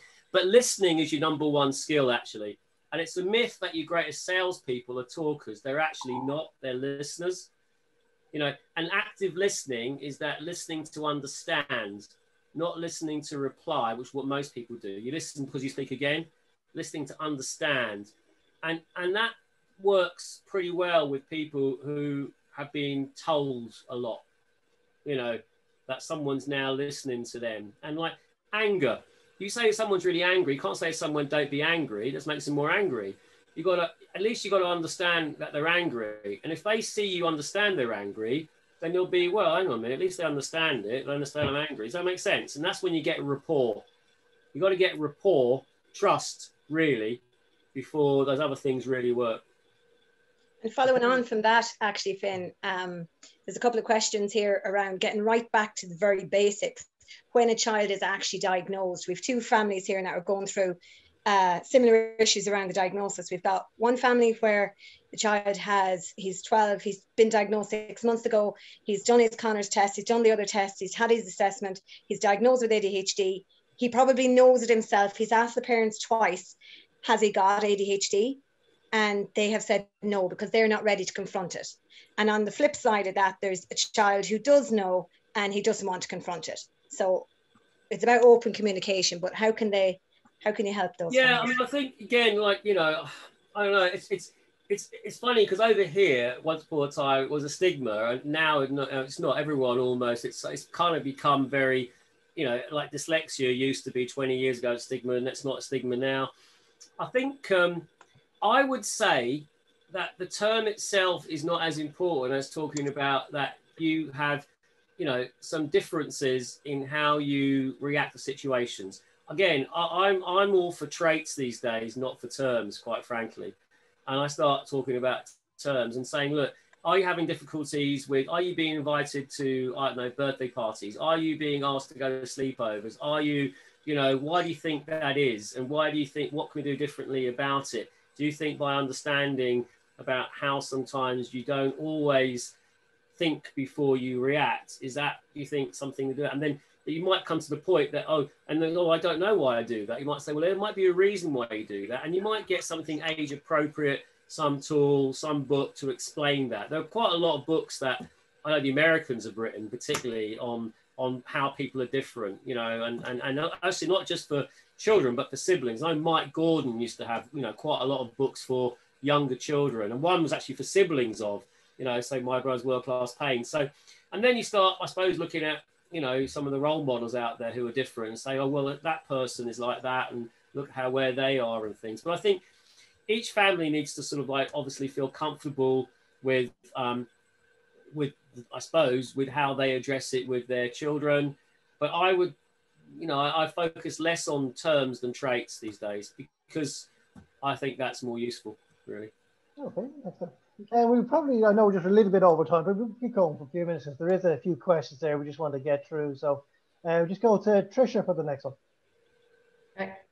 I just, uh, I just lost my questions. Yeah.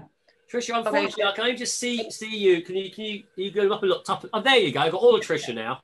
Okay, so I, I have a meeting with the secondary school tomorrow about my son who's starting in, in secondary school in September.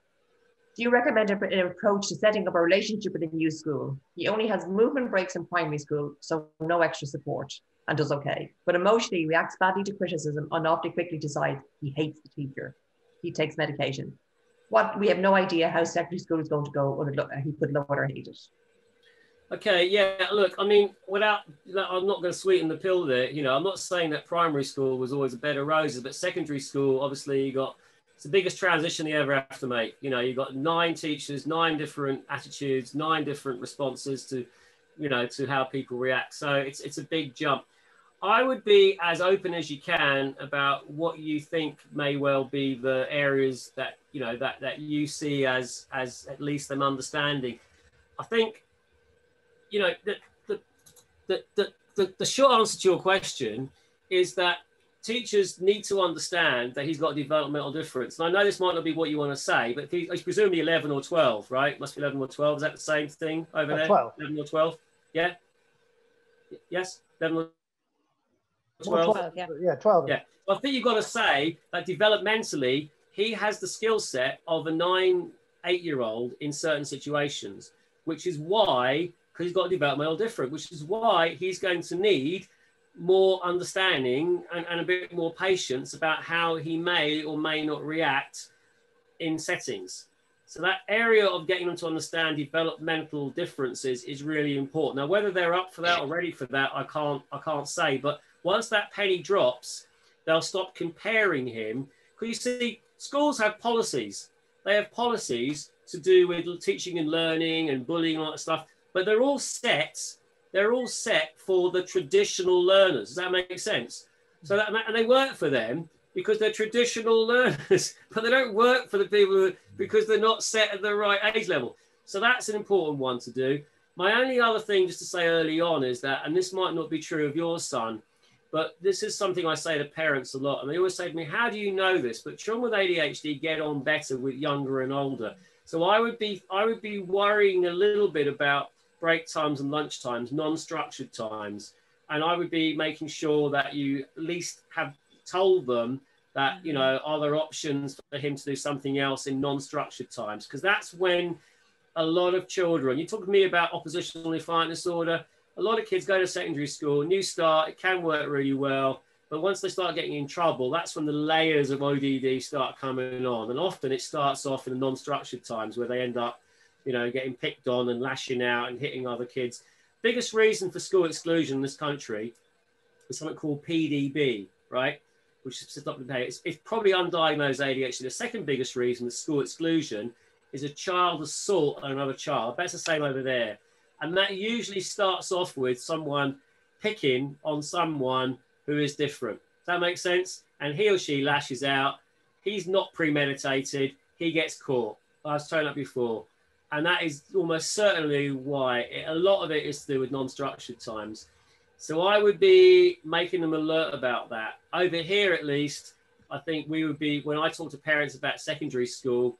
That's what I advise. I get them to understand the developmental stuff, uh, if they will. I get them, to, then they stop. They stop comparing. They get a better understanding.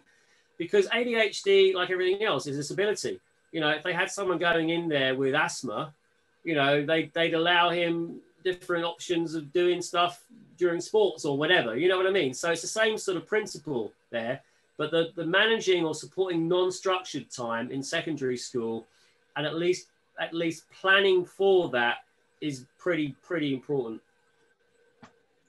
Um, we've one more here. Um, I think it's an issue we've we've come across before. That any thoughts? Um, Karen has a child who um, likes his sugary foods, and uh, basically she's saying there's no treats in the house, um, but he'd eat raw chocolate powder just to get the kick or ma- maple syrup. Um, and uh, this week he actually had a box of chocolates that was actually bought for another child in the class. So it's part of the impulsivity, I'm sure. But um, how do they manage that?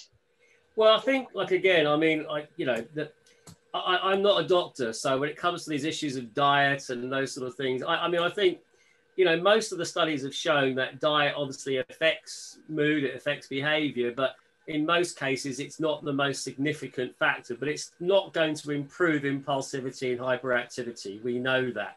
So I think. Um, I mean, that sounds like something without passing this to someone else. That sounds like someone that you do need some kind of dietary advice, some kind of, you know, dietitian issue. I mean, I don't know if there's substitutes for these sort of things. I mean, I know that, you know, I mean, it's sugar is a sort of a thing, isn't it? That, you know, he likes, obviously likes a taste of it.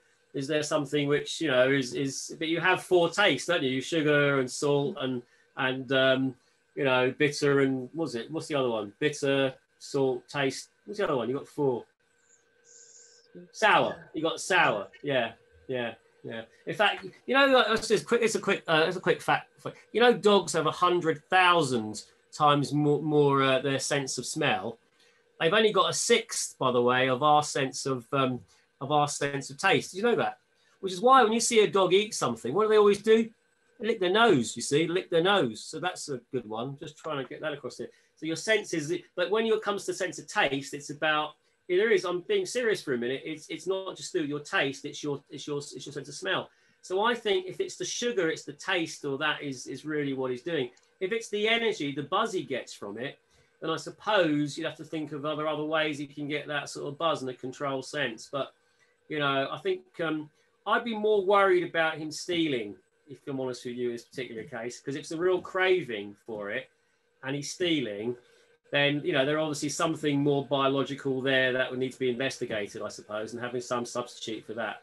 You know, because I think it's the stealing that I'm thinking here is the issue. But in most cases, most parents have started off with the dietary stuff, and they found that it, it, it doesn't improve things, but it doesn't make it significantly worse. But in some cases, it might. So I would be more worried about the actions that he's doing to get the sugary stuff. So if there's some other substitute for that that he could have instead.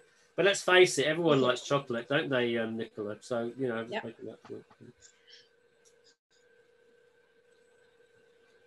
Oh, th- thanks for that. Um, just I say maybe just two questions before we just wrap up for the night. Um, just wanted sort of a, a, more general question that came in there earlier, and they were just talking about developing fairness across um, age ranges within the house. Because an awful lot of people, you know, there's a lot of questions coming in. They go, um, how do we develop this strategy? So I know you mentioned in the presentation, but maybe just sort of give us a quick recap of the, the main points of developing a strategy to cope with uh, children fairness. with ODD. You mean fairness? Fairness, yes. Fairness, yeah. Okay, well, I've got a couple of points on that. Number one, here's what we have to do. Okay, I'll give you I'll give you an upstream way because fairness doesn't give everyone the same, them what they need.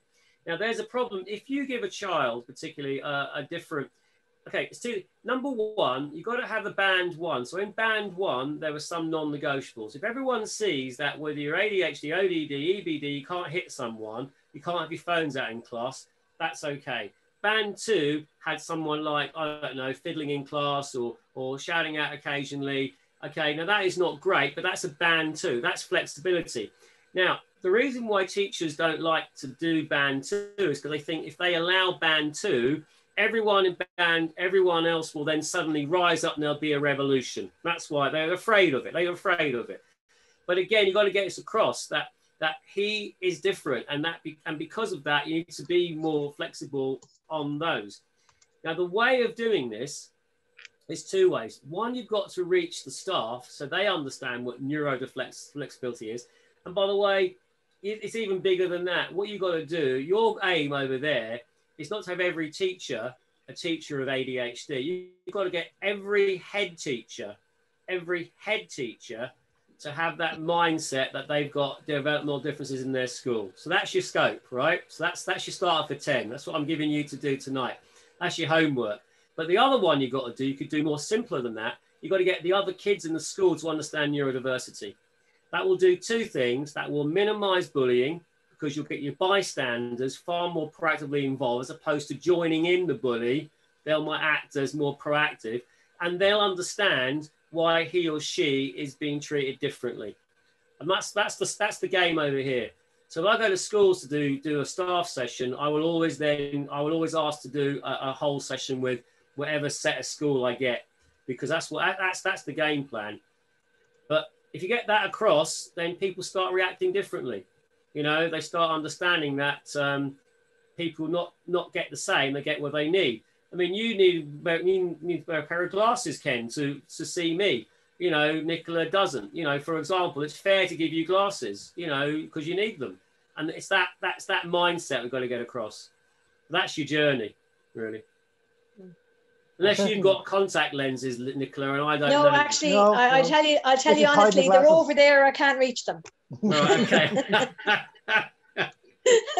That's why okay. I was tripping there's up a, on the there's questions. A, there's another term then we haven't really come across tonight. That's called L A Z Y. Oh yeah. yeah, yeah. We've done ADD, ODD. Let's do L A Z Y.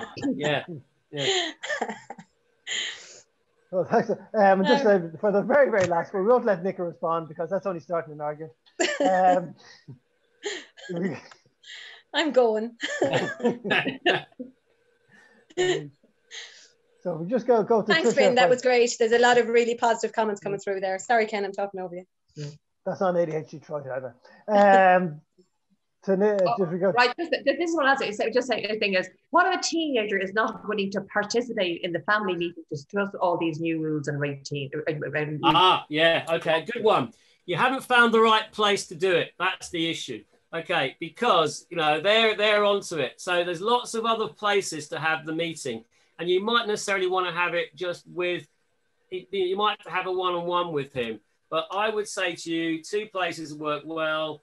Two things work well for children with ADHD. Number one, sometimes no eye contact. So when they're doodling or drawing or doing something else. Um, and the second thing, and, and there's another one you can have as well. This might you might think I've really lost my mind now sometimes you're talking to someone, you want to get them with ADHD to listen to you, you need to have uh, music on the background or even television on the background. Now, you might think that television is distracting. Distracting you, it's actually cutting out the white noise for them. All right, that's another thing to think about. Now, I say to parents sometimes, children with ADHD, if they're doing homework sometimes, like a computer screen, what they actually work better with, you won't like this because having an iPod, an iPad beside them, playing a film that they know will help them focus more on what they've got in front of them. Because without that, they're finding other things to do. They need stimulation. The meeting, though, you're talking about specifically movement and no eye contact. Sometimes, you know, best meeting to have in a car, you driving, them sitting in a seat behind you or beside you. That's the conversation then. It's the movement that helps the focus and the no eye contact. And I'm not saying this is your particular son, but what I'm saying is you find a different setting you find a setting that works for them. Because what we know with children with ADHD, they need either, you either need to reduce the stimulation, you need to put more in. That's what helps them focus.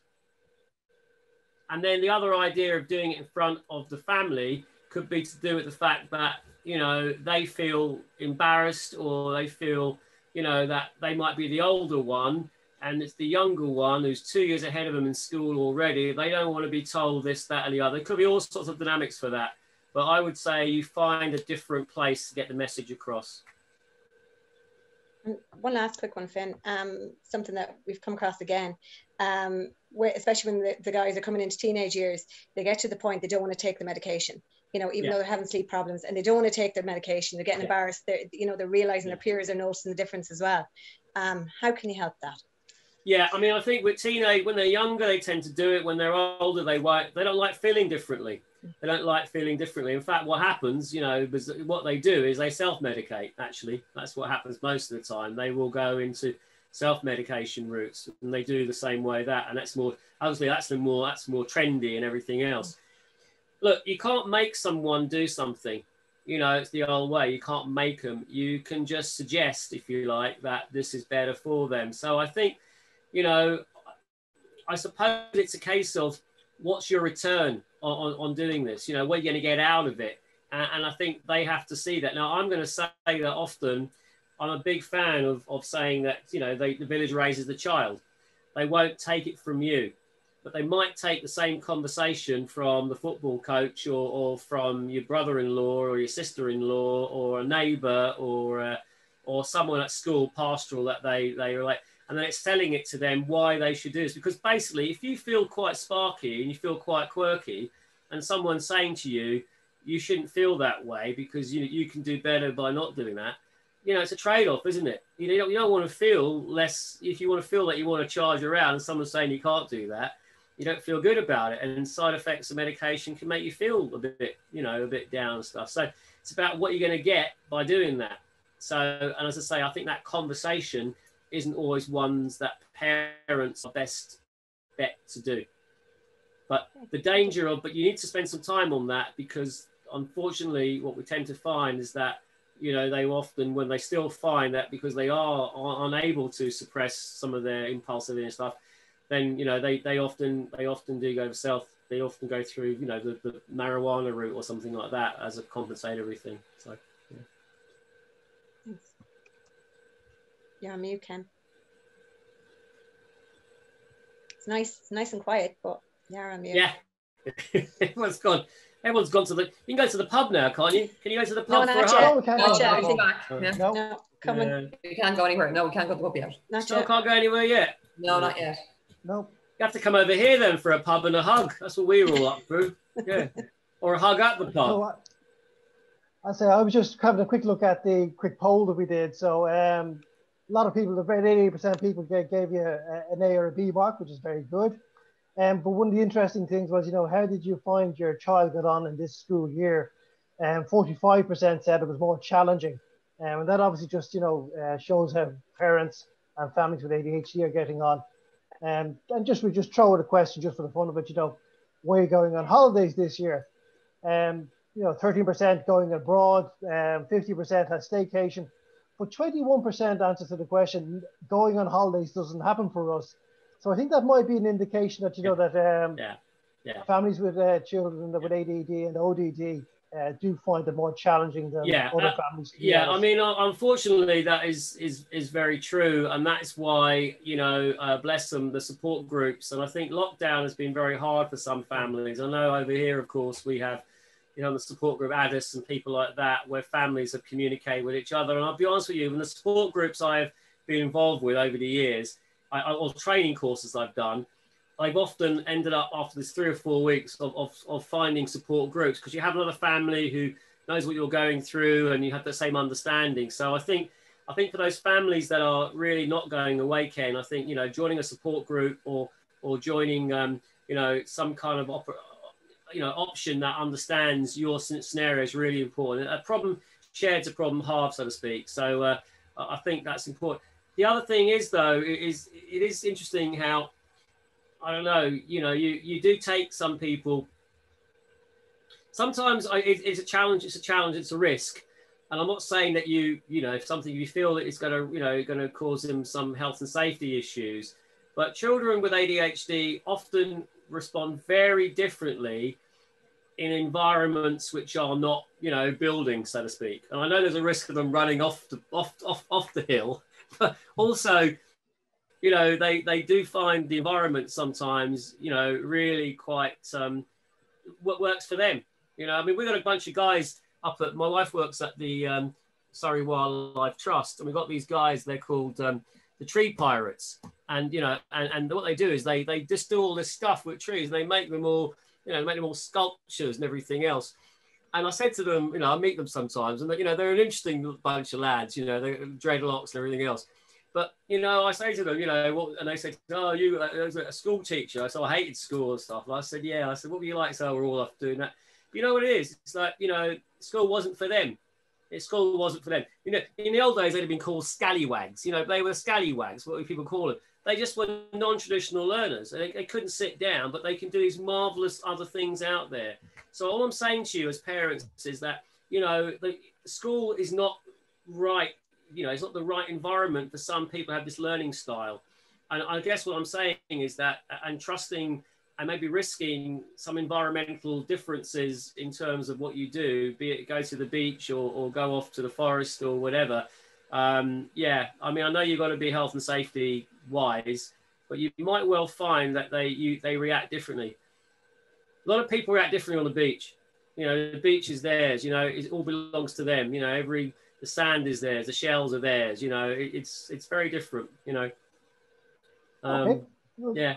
Thanks yeah. very much for that, Finn. Um, we could stay here all night, to be honest. Um. But know, we do need to. you can go down, reach go down to the beach. Go down to the beach in uh, in Enniscorthy. I think it's called Black. You know, go down there. You want to see my parents running on the beach. Yeah. yeah we'll show that video for next time. Um, just say in terms of just next time on July the eighth, uh, Finn will be back doing ODD with relationships and resilience. Um, and we, so, we'll do the R's. We'll do, do, the R's. R's. Um, so thanks very much for coming along. Thanks to Trisha and Nicola there for doing all the questions. Thank you guys.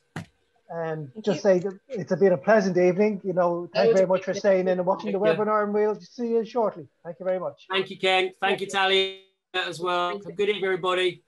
Get down to the pub for a hug. That's what I think when lockdown takes place. Yeah.